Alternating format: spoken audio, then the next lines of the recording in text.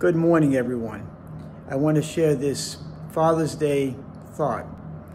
This is what I've learned about being a dad, right? First of all, we have to give the love to our children that we did not feel we received growing up, right? So our parents did the best that they knew, what they were taught. So there's a lot of dysfunction in that, and that's quite normal for most families.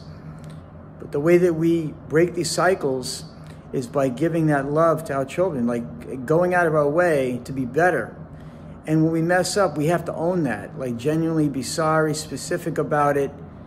And then we have to forgive ourselves as well so that we can move on and be better for them.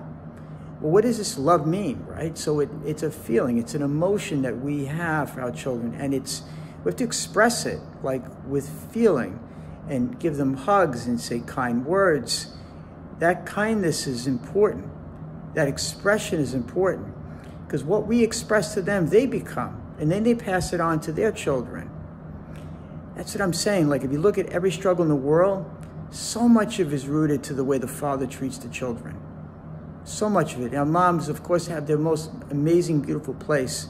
But a lot of the violence, a lot of the, this, this tragedy that we experience comes from men and the way that dads treat their kids. That's why I'm making this video because I feel like it's so important to share my thoughts. And look, I try my best and I get better, and that's what it's about. But it's about that love.